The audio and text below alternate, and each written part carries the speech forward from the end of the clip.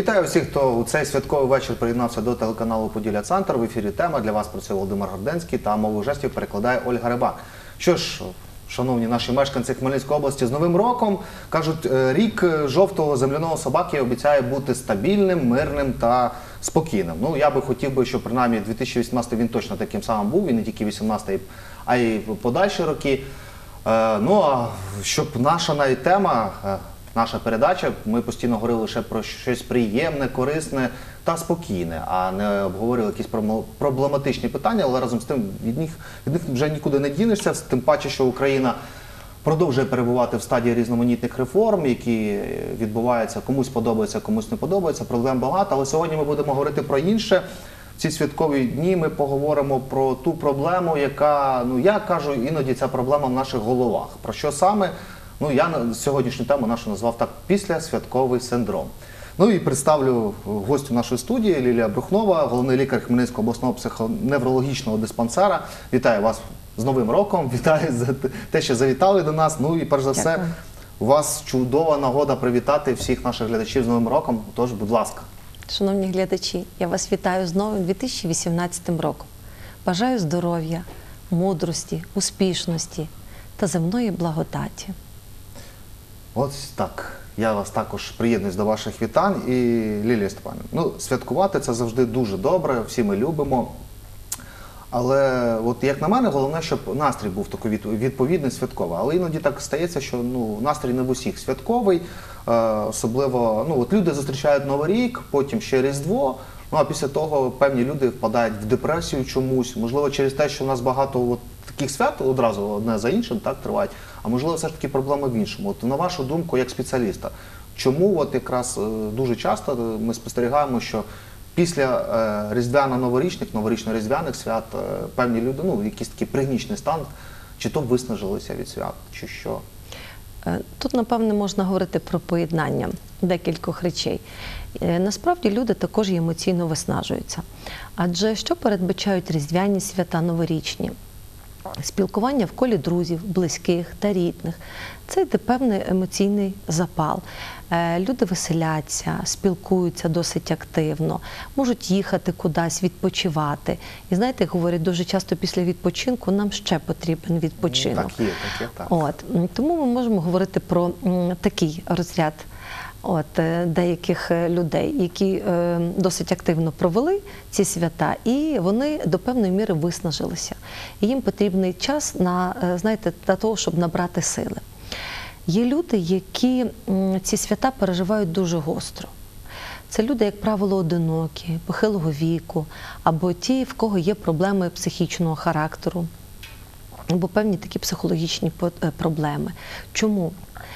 Е, Для них це свято до певної міри мука, тому що вони, як правило, його проводять наодинці з телевізором, де немає близьких, немає рідних, про яких ми тільки що з вами говорили, хто виснажується від е, тих емоцій, які е, в людини є, а хто від того, що вони навпаки е, не мають кому сказати добре слово, почути привітання в свій адрес. І тут, звичайно, найбільше страдають люди, як я говорила, вже такі похилого віку, одинокі. Ну, ми про них не повинні забувати і повинні знати, що вони чекають любої вісточки від нас для того, щоб ми їх привітали і звернули на них увагу. Е, Також е, От, до речі, я вас переб'ю, а от, от я послухав вас, і в мене от, не знаю, там ідея не ідея, але принаймні, можливо, ви порадите, чи варто так робити. Я задумався про одиноких людей, там, про сусідів якихось, да? що от сьогодні 1 січня, там, чи завтра 2 січня. Чи може будь-який сусід, знаючи, що в нього е, по сусідству мешкають там чи старенька бабуся, чи старенький дідусь, одинокі, їм дійсно, мабуть, не вистачає тої уваги, просто прийти і там, ну, принаймні подарувати мандаринку, і тоді полегшиться, так би мовити, настрій з'явиться. Та навіть якщо е, сусід прийде, подзвонить двері і скаже: Я вас вітаю з Новим роком і вам бажаю хорошого настрою, і якщо потрібна моя допомога, то я завжди готовий. То повірте, навіть ніякі матеріальні е, блага не замінять е, ну, е, цих щасливих слів, що людина ця почує. Тому насправді все не в площині матеріальних благ, а в площині наших з вами емоцій, позитиву, налаштованого на те, щоб ми творили добро і навколо себе ну, його побільше бачили. Тобто ну, емоційне навантаження, воно дуже таке е, Дуже значуще в е, цьому. дуже так? значуще, так. Але є ще інше навантаження, як я не знаю, чи так можна говорити, що це навантаження. Для когось навантаження, для когось ні, тому що має бути певна межа. Так? Але зачасту багато людей, от, е, ну, будемо говорити так, як є. Оці всі свята вони просто п'ють. Так? І потім дуже важко е, відмовитися від того келиха. І впадають, ну я не знаю, там ну не будемо говорити, що хтось стає ал- алкоголіком, так але насправді е, ми знаємо, що є такі проблеми, коли люди під Новий рік, Різдво, і оце цей тиждень, а, а, а то навіть два, це проводять постійно за столом, постійно з алкоголем, а потім від цього відмовитися дуже важко. Як бути в цій ситуації? Чому так відбувається? Е, Ці люди себе е, вганяють в дуже е, такий складний психологічний стан. Перш за все, стан залежності. Тому що, як правило, людина, е, коли вона переходить з одного свята в друге, з іншої компанії в наступну, вона не розуміє, де є межа, де є. ем, та міра, під, ну, що він повинен зупинитися. Це досить складно. І тому ми дуже часто маємо е, після Нового року, після Різдвяних свят велику кількість звернень із станами залежності. Людям потрібно повертатися на роботу, бути активними членами суспільства, а вони не можуть зібратися з думками. Знаєте, мені здається, нам побільше з вами потрібно е, проводити наглядної пропаганди про те, що насправді несе за собою чарка е, любого спиртного напою. Е, Тому що нам здається, що ті там 50 е, грам, які ми вип'ємо, вони ніякої е, зовсім загрози нашому здоров'ю не несуть. І ми насправді будемо веселими, воно нам підніме настрій, і ми будемо дуже легко спілкуватися навіть з незнайомими людьми, правда? Але після тих 50 чи 100 грам наступає в подальшому і синдром похмілля, і люди себе дуже погано почувають. От ви, е, коли ми сядемо, проаналізуємо і будемо спілкуватися з тими людьми, в яких свята досить затяжні, що вони після того, вранці, пробуджуються е, після активної вечері, вони як е, начебто після важкого отруєння, правда? У них болить голова, навіть може бути температура, відмічаються проблеми шлунково-кишкового тракту. Тобто ми маємо по суті отруєння, самі банальні ознаки. І потім ці люди все одно беруть чарку і лікуються, так би мовити. Так, вони не розуміють насправді, що в цей період кожний раз, щоб ми розуміли, в організмі проходить е, е, ну, смерть великої кількості нейтронів, е, нейронів, тканин головного мозку, які у нас просто виходять з сечею. Порушується пам'ять, порушується увага, яка ніколи не відновиться. Ну, нам здається, що ми далі якби відновимо свої сили і будемо знову активно працювати. Насправді ті нейрони, які загинули під час чергової випивки, ніколи вже в нашому організмі не відновляться. Це вже буде певний дефект в головному мозку. І цей дефект ніяк не лікується. Він ніяк не відновиться. Угу. Ну, я говорю про те, що є, е, є, є в організмі е, тканини, є клітини, які можуть відновлюватися. В даному випадку ті зміни, які проходять в головному мозку, вони ніколи не відновляться. То щоб ми повинні, е, ми повинні зрозуміти з вами, що е, з кожним разом у нас все більше і більше буде поглиблюватися цей дефект. Чому ми дуже часто спостерігаємо людей, які зловживають е, в них е, порушення емоцій? Вони дуже часто є емоційно неврівноваженими, роздратованими, правда? От це якраз вже ми розглядаємо з вами в контексті психіатрії ці дефекти. А От. чому е, контексти психіатрії? От мені завжди цікаво. От є люди, які вип'ють, є агресивні, а є навпаки дуже спокійні. От чому це від То є- характеру залежить? Чи все ж таки це от якось пов'язано, я не знаю, з тим, хто більше випив чи менше випив, або хто довше п'є, а- хто менше п'є? Ну, перш за все, ми маємо е, різні типи особистості. Є люди, які е, емоційно неврівноважені, психопатизовані особистості. І також ще є різні типи оп'яніння. Отак як ви назвали, тільки що людина, яка агресивно себе поводить, неадекватно, їй потрібні, скажімо так, нові пригоди, нові враження, правда, після того, як вона вип'є, то це люди з дисфоричним типом оп'яніння. А ті люди, які, наприклад, зразу засинають, то у них такий сомнамбулічний тип оп'яніння. Є Ну, тобто, це означає, що кожна людина це є індивідуальність і є різні типи реагування на е, організму на той алкоголь. Ми так вже трошечки пішли так в медицину. В принципі, це, це і не добре, і не погано, я би так сказав. Ми просто з вами заакцентували Так. увагу на тому, що все-таки за тим, як ви святкуєте, і як ви святкуєте, і скільки раз ви, е, ну, ви можете собі дозволити, потрібно слідкувати і бути уважним. Мгм. Але тема все-таки це не медична програма, а суспільна політична, тому дозвольте запитаю ще ось таке. е, Дивіться, ну от наскільки економічна ситуація в країні може впливати взагалі на емоційно-психологічний, психічний стан людини, особливо от в цей період. Ну, на новий рік ми знайшли гроші, там нам вистачило зарплати чи пенсії накрити стіл. Так? На Різдво, можливо, ми накриємо менший стіл, е, тому що грошей ще менше. Але потім вже, як правило, в людей, ну, я не буду казати в відсотках, так, але є певна частина, в яких на цьому гроші закінчилися, свята закінчилися, і люди думають, де взяти гроші. От відсвяткували, все. От.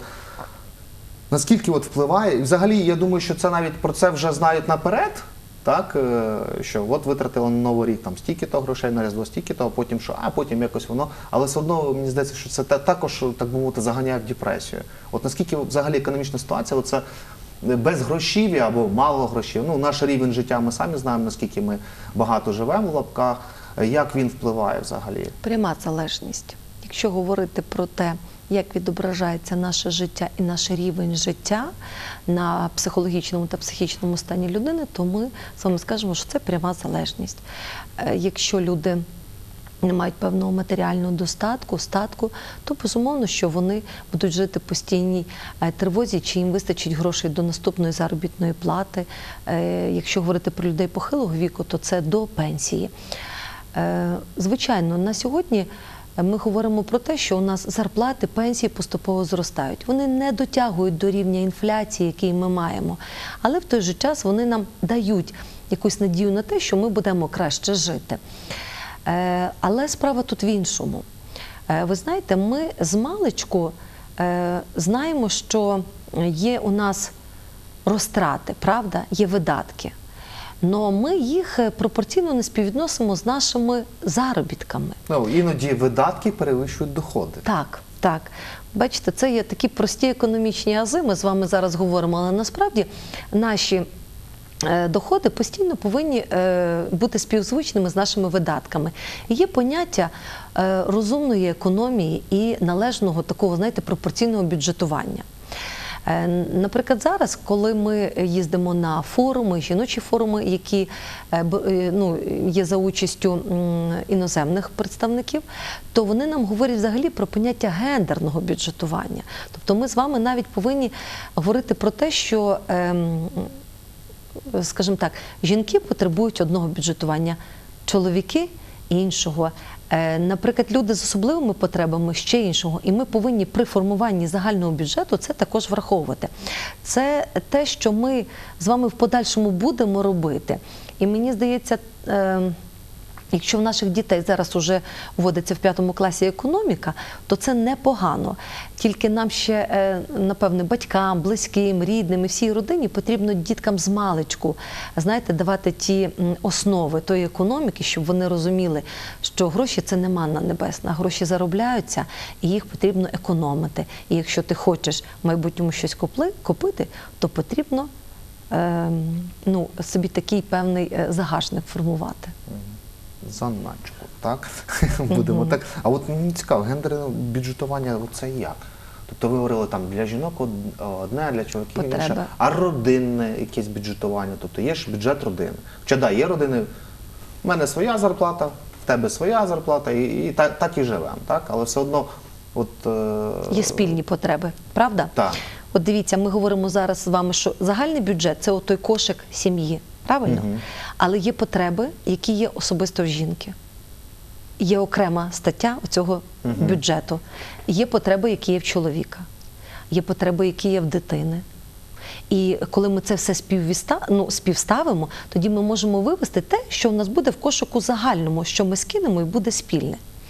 От ну насправді це досить інтересна тема гендерного бюджетування. Ми тільки починаємо з цим працювати, і я думаю, що воно буде потрібно. Ну, е, крім сім'ї, я вам також наведу. е, Такий простий приклад. Е, Ви знаєте, що у нас є дитячо-юнацькі спортивні школи, правда? Так. І, як правило, у нас є види спорту, які переважно ну, в яких займаються хлопчики. Але дівчатка також там активно хочуть займатися. Просто потрібно буде провести належну просвітницьку роботу і закласти також на те, щоб дівчатка туди пішли. Оце також є те саме елементи. Ну вони такі прості, розумієте, банальні, але вони говорять про те, що є потреби, які ми також повинні будемо врахувати. Я зрозумів. Але разом з тим трошечки ми так вже пішли в економіку, але повертаємось до стола і до того, що немає грошей. Так? Знову ж таки, Новий рік відсвяткували, Різдво відсвяткуємо, Крим, далі немає. От як, можливо, є якісь такі поради, як все ж таки от в цій ситуації не впасти людині в депресію? Тому що ну, відсвяткували це добре і, можливо, з гарним настроєм, переконаний, це чудово. А от далі, як далі? Чи якось готувати себе е, психологічно, що так воно має бути, хоча і з року в рік, мабуть, так воно буває. Ось е, чи все ж таки спробувати десь е, ну, зробити застілля меншим. Тому що ми знаємо, якщо подивитися там на класичну літературу, на якісь фільми, да, ну завжди в нас що ну, українці люблять святкувати, навіть там вечора на хуторі близь диканьки. От стільки от вареників, пляшка самогону, все має бути по-багатому і безумовно з алкоголем. Ви знаєте, я би напевно почала з того. Мені дуже подобаються сюжети, які зараз будуть у нас після 1 січня і після Різдва Христового. е, Коли е, журналісти будуть звертати увагу саме на те, яку кількість продуктів люди викинули, не змогли е, з'їсти. Це, до речі, те, теж є проблема з цим. те, так, і це що- гроші на вітер. Так, те, що приготували. Так от, до кожного застілля, до кожного свята ми з вами повинні підійти розумно. Те, що зможе сім'я з'їсти, які її, потреби самі необхідні, і якщо вона зможе ще когось з гостей е, причастувати, які до неї прийдуть. От оце розумне співвідношення це, напевне, саме основне. Що дасть е, нам з вами сьогодні, 1 січня і 8-9 е, все-таки не бути з пустим гаманцем, а в подальшому з хорошим настроєм іти в цей новий рік.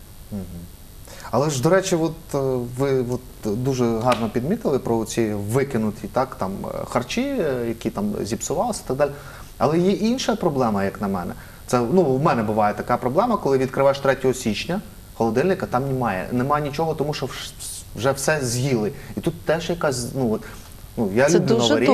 Я люблю Новий рік, коли відкриваєш і повний холодильник є що поїсти. Бо в новорічну ніч ну, багато не з'їсиш. Так? Поки дочекаєшся 12, поки бамкнуть, ну зараз вже не бамкають куранти. Раніше щось там бамкало. Зараз гімн України, поки заграє, ну сіли, посиділи, потім лягли спати. Так? Куранти 12 раз відбили, ми загадали так, бажання. Ну, зараз ну, начебто так не відбуває, дивлячись, який канал, так е, ось, але раз, да, загадали бажання, поїли трошечки, ну багато ж ночі не з'їсиш. Потім все в холодильник акуратненько склали. Ввечері 1 січня поїли, 2 так само, а 3 немає що- що їсти. Ну, це якраз говорить про те, якщо у вас такий холодильник, що е, ви і ваша дружина дуже розумні господарі, тому що далі потрібно Або тільки все говорить про те, що маленький холодильник. все свіже готувати. Адже людина не може весь час е, жити в, в такому, знаєте, ну якби піднесеному настрої, настрої того, що в нас зараз буде застілля, ми будемо знову активно їсти, харчуватися і щось святкувати. Розумієте? Ми повинні з вами розуміти, що наш кожний день, кожен божий день це прекрасно, це щастя. Сьогодні ми з вами святкували Новий рік, але Новий рік це от, от ті хвилини перші які е, побили куранти, і ми з вами загадали бажання. А далі продовжується життя повсякденне з радощами. е, З веселощами, з проблемами, з якими ми далі з вами живемо, які нам далі потрібно буде вирішувати, е, ну і займати свою якусь активну позицію. От розумієте, тому в принципі тут немає нічого такого. Ми повинні зрозуміти, що Новий рік і Різдво Христове це не цілий рік святкується. Але ж е, є певна частина людей, які святкуються дуже довго. Потім ще старий Новий рік до Василя, потім водохреща, і це затягується і затягується, і потім е, ну, приростає в певну хворобу. От в мене запитання, е, наступного характеру. Е, Все ж таки, е, я думаю, що багатьох е, слово психолог вони розуміють, хто це. Так? Ну, прийшов до лікаря-психолога, поговорили, і він там, можливо, словами щось там вилікував. Ну, назвемо це так, тому що я не медик, вибачте, я не хожу. Нічого. А є психіатр, мене, до прикладу, лякає слово психіатр, тому що якщо ти йдеш до психіатра або тебе направляють, то це, мабуть, означає, що вже в тебе якісь відхилення є. Ось. То ви мені просто скажіть одне і нашим глядачам.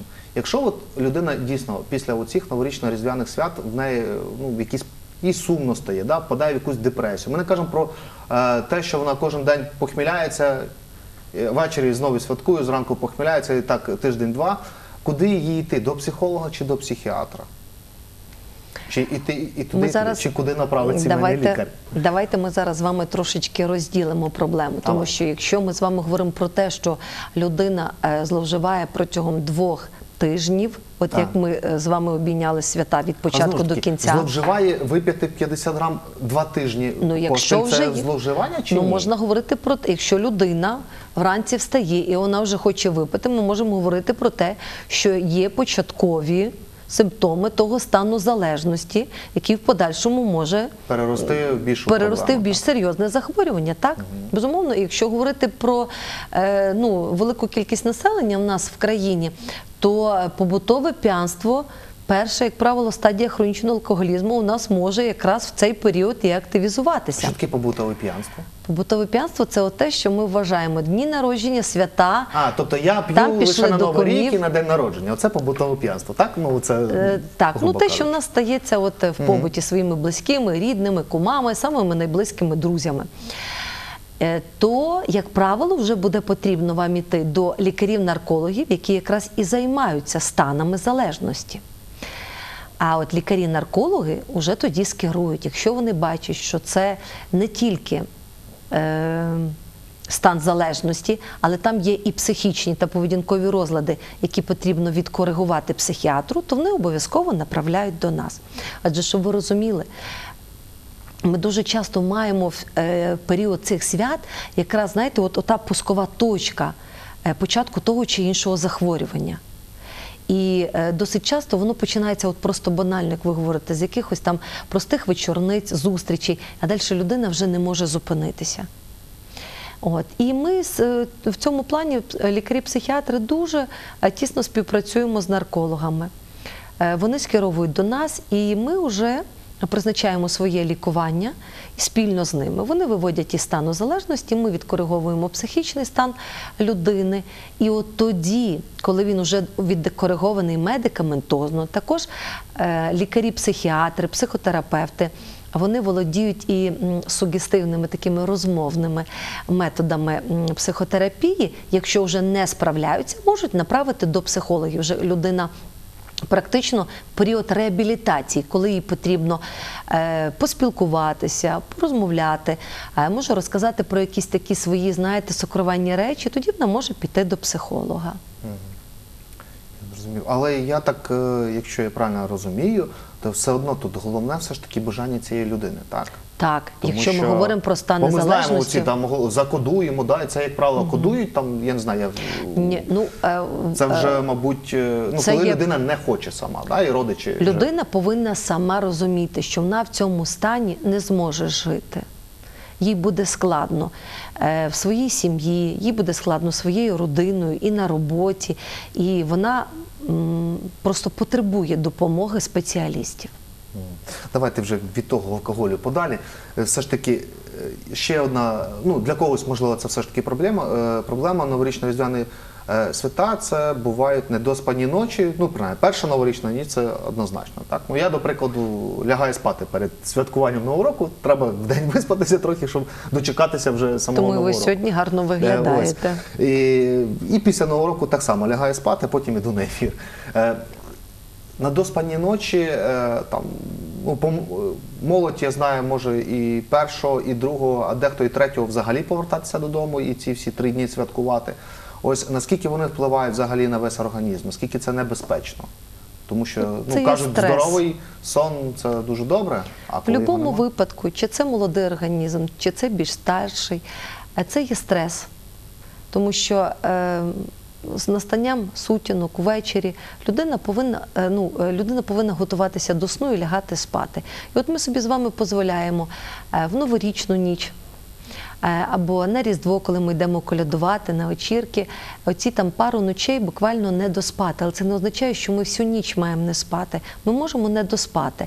В подальшому ми все одно мусимо відіспатися. Організм повинен це забрати, правда? Тому що він тоді втомлений, виснажений, і людина не готова до того, щоб сприймати ем, оточуючий світ такими очима, як і повинно бути.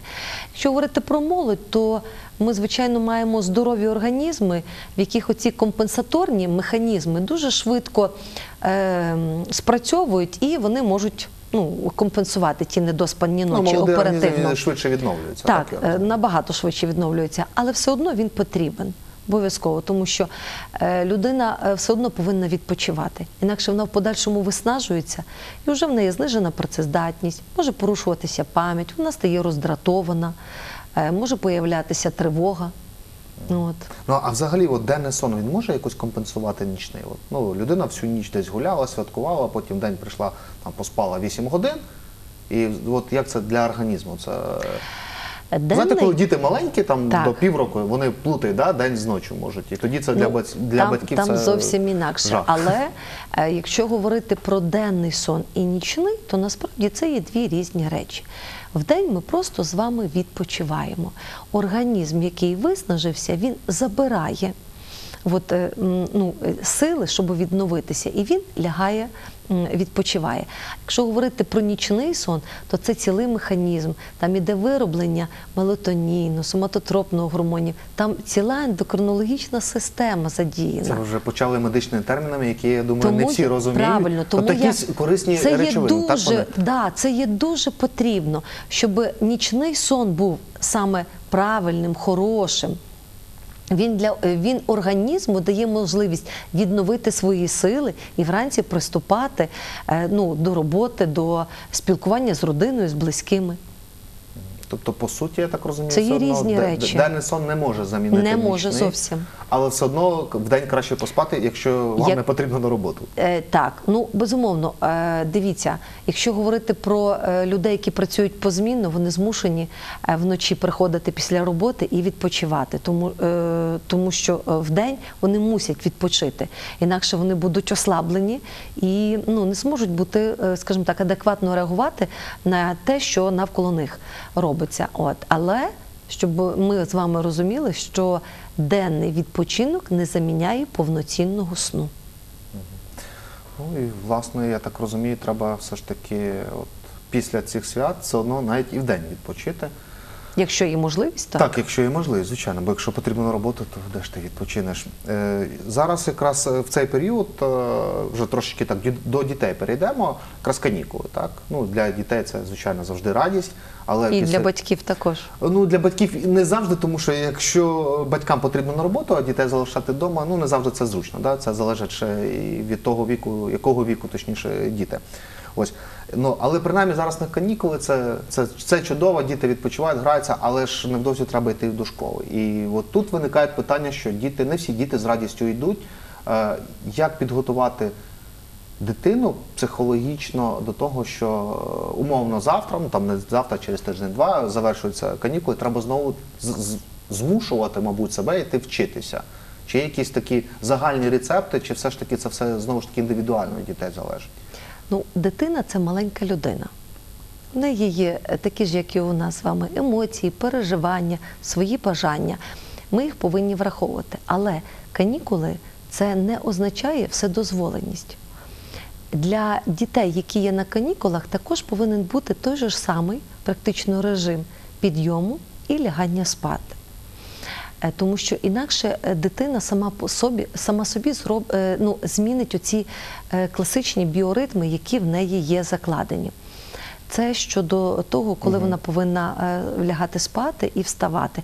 Не можна е, дитина, якщо вона на канікулах, то вона може дивитися, наприклад, якісь передачі або бути з вами активно е, в компанії до 12, е, до першої години ночі, другої. Ні, вона повинна так само лягати в районі 10 годин вечора, щоб повноцінно виспатися. Але ж аргумент, ти все одно на канікулах, Ні, Завтра це не поспиш до 10-ї. Ви повинні дитині пояснити, що якраз вночі проходять дуже чарівні речі. Дитина росте, вона у вісні літає, йому присняться чарівні сни, де він навпаки те, що собі прочитає перед сном якісь казки, і буде фантазувати. Це буде дуже прекрасно, е, якщо говорити про сон. А про школу, щоб йти в школу, ну, повинна бути перш за все мотивація. Дитина повинна розуміти, чому вона ходить в школу.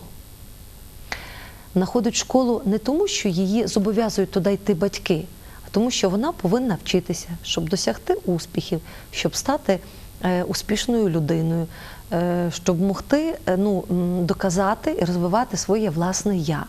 От розумієте, ми повинні з вами уже дітей з маличку формувати. Ну, їхні певні якби, бачення в майбутньому, те, ким вони мають бути, ким вони мають стати, які в них будуть уподобання. Це не означає, що в 5 років вже дитина якби, має знати, ким вона буде, яку вона професію вибере. Але завдяки розмовам батьків е, дитина може якісь собі мати орієнтири, якісь будувати плани на майбутнє. А батьки будуть активно цьому її підтримувати. І от мені здається, от та мотивація на успішну людину якраз і повинна бути саме основна. Але знову ж таки багато чого залежить і від батьків. Так. Тому що якщо цієї новорічної ночі дитина бачила, як тато обличчям в олів'є спав, так, а мама, я не знаю, десь на люстрі, то важко, мабуть, е, пояснити цій дитині, цим же самим батькам, що потрібно йти в школу. Ви знаєте, е, досить часто зустрічаюся з дітьми, е, ходжу по, по школах, читаю лекції. І коли ми починаємо з дітьми розмову, я постійно запитую їх, чи ви спілкуєтеся зі своїми батьками? Чи батьки чують вас? І що таке для вас атрибут того, що ви вже дорослий, що до вашої думки можуть прислухатися? І інколи мені хочеться на такі зустрічі запрошувати батьків, щоб це було ну, якесь таке спілкування е, того, щоб вони почули своїх дітей, діти почули е, їх. Е, Це обов'язково нам потрібно, тому що е, належна комунікація нам і в подальшому з вами дасть і успішну, мотивовану людину. А що діти кажуть? Мені цікаво. Ну, ви знаєте, вони насправді дуже розумні, дуже щирі, відкриті. І навіть не треба їм говорити, ну там якийсь секрет вони відкриють, вони все розказують, але їх треба почути. Е, Ми, е, дорослі, вважаємо, що ми багато чого знаємо, і ми їх можемо навчити. Але в їх поведінці, в їх словах є також дуже е, багато мудрості, які ми з вами повинні переймати. Ну, я би все-таки хотіла, щоб батьки більше прислухалися е, до своїх дітей. Якщо їм не вистачає сміливості сказати, що е, сина, вибач, я був неправ, то по крайній мірі зробити так, щоб дитина зрозуміла, що вона була права, і, батьки на другий раз цієї помилки не допустять. Е, Коли ми навчимося дорослі це визнавати, наші діти також будуть визнавати свої помилки, говорити прості слова перепрошую, дякую, вибач. Адже коли діти приходять в школу, це перші слова, які вони вчать. А потім чомусь, коли ми стаємо е, ну, більш зрілими, е, ми про них забуваємо і перестаємо їх говорити. Тому мені здається, що Якщо ми з вами повернемося до дитинства і до тих азів виховання, у нас все буде і серед дорослих, ну і в державі також. Ну, звичайно. Як якщо ми будемо один одному принаймні завжди казати дякуємо, да, то я думаю, все в нас буде добре. Ну і я власне буду дякувати усім, хто дивився наш ефір. Дякую Лілії Степанівні за те, що завітала до нас. Ну і ще раз усіх з Новим роком. Ну і до зустрічі.